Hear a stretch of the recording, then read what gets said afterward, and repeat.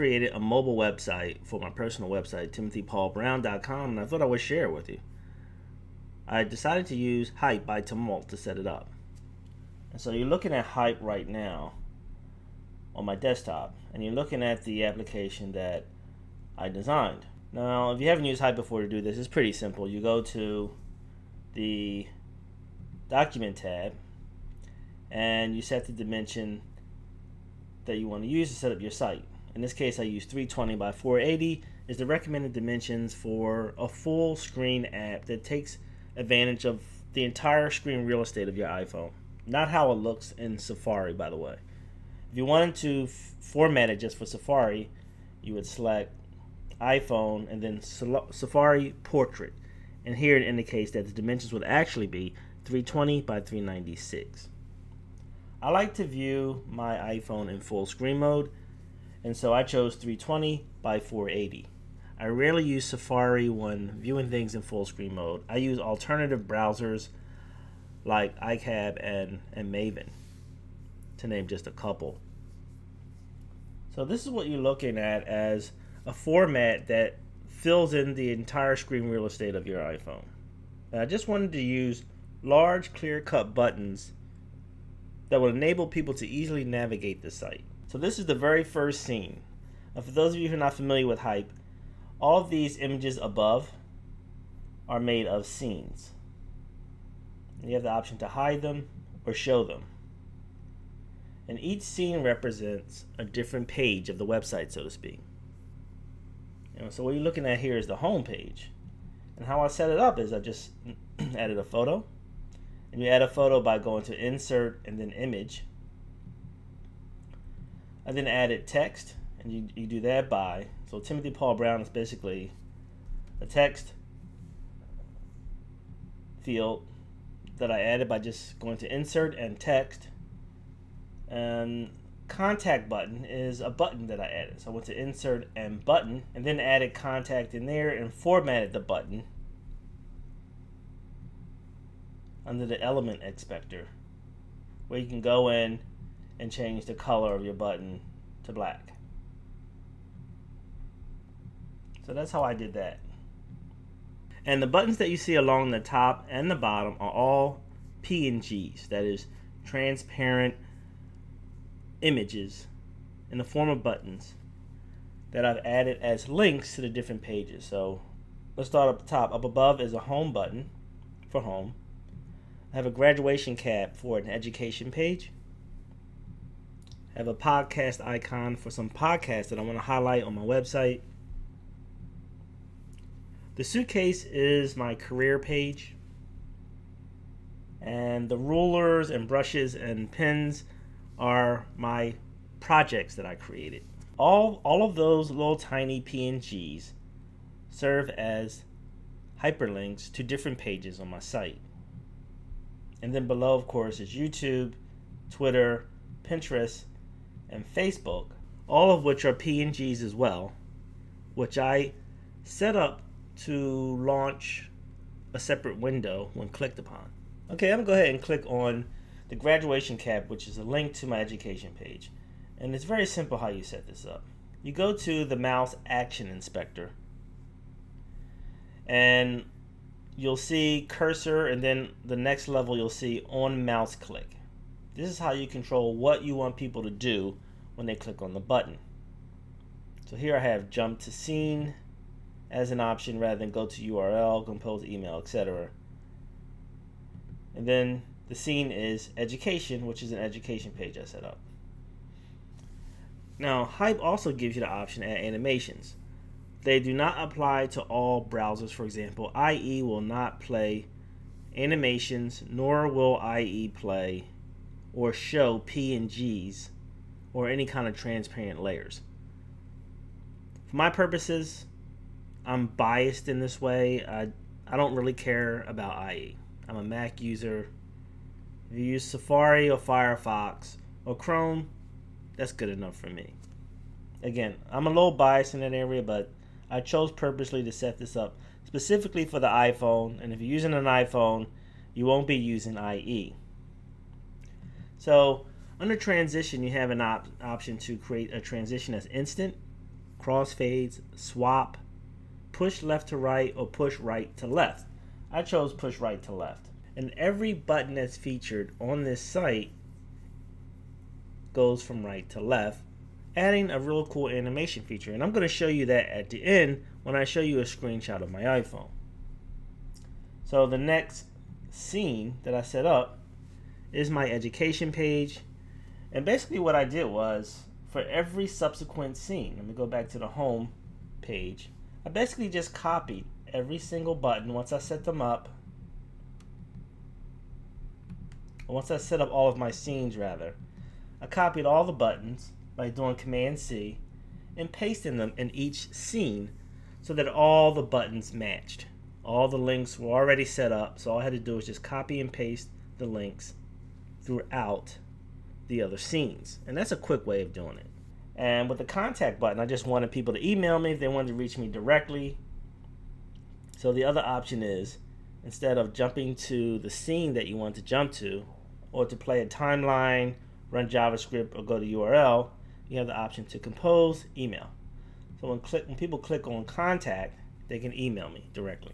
And that's pretty much how I set it up. As you can see with YouTube, go to URL, I have the option checked, open in new window, because I don't want people to navigate to say the YouTube page and then have to hit the back button to go back. And that's how I set each page up.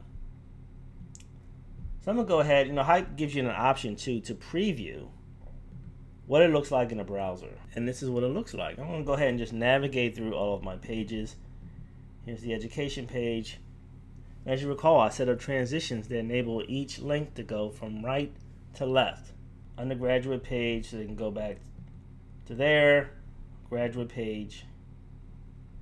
Uh, set up a podcast page as well. And I have three podcasts that I work on right now. and then I have you know various projects that I've worked on, and people can navigate through those. And then the links at the bottom open up a new window that takes you to my different social networking sites. And that's pretty much how I set it up. Now, in terms of videos, I used a, a feature that Hype provides for setting up an embed function for your YouTube videos. You go to HTML widget and you paste this box where you want it to go. You then hit this little pencil tool. You then grab the embed code paste it right into this field here. So I'm going to go ahead and actually select the one I already set up. And you can see I have the embed code right here. So if I was to add it to this box, I'll just go ahead and then paste, paste it right in there and then a video shows up. It's really that simple. That's all you have to do. If you ever want to play video, I recommend that you use YouTube videos because you can be guaranteed they will play in multiple browsers and you won't and you won't have any problems with having to upload three and four different video formats so that they can play in all browsers. It's a real headache. And that's basically it. So let me go ahead and just show you what it actually looks like in a simulation of my iPhone. Okay everyone, you're looking at a screenshot that is mirrored on my desktop. And I'm going to go ahead and pull up my new mobile website in a full screen browser. I'm going to go ahead and use Maven, M A V E N, because it does offer a full screen capability. Alright, now this is what my website looks like in full screen mode. Again, this is not Safari, this is Maven. And what I want to show you very quickly is just how the buttons navigate from one scene to the next using that transition feature that I showed you earlier that allows you to go from right to left. My education page. I have a little tab for undergraduate and a back button to go back. Graduate page. My podcast. And here's my career page, and I set up options to go to different places where I worked and so forth. As I mentioned earlier, I did set up the the social media buttons and I purposely set those up so that it will open up a separate browser. So for example, if I want to go to Pinterest,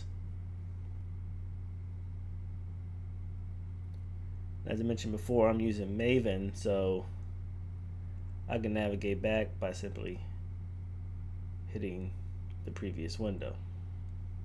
Okay, there's one more very important thing that I want to share with you when adding your mobile website to your server is that you want to be able to bounce people directly or redirect them directly to your mobile site when going to your main web address. So for example, this is my main website. As you can see, when I designed it, I had the iPad in mind, but I didn't have the iPhone in mind. So that's what prompted me to redesign it. This is not going to look good on the iPhone. But when people come to this site, I want them to be able to detect that a mobile device is being used, thereby redirecting them to the mobile site that I have set up.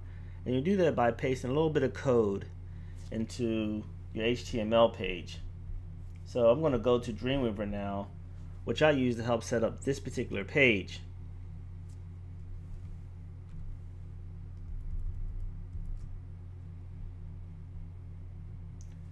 Okay, this is the code view of that page. Now at the very top, I pasted in a little bit of code to redirect people to the mobile site.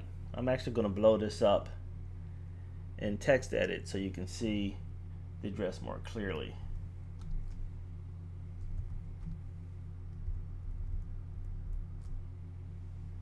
Okay, there we go. This is what it actually looks like.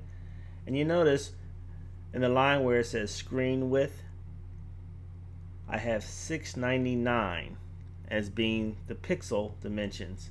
So that, for example, is asking, is detecting that any device that's being used that is under 699 pixels to redirect it to the mobile site.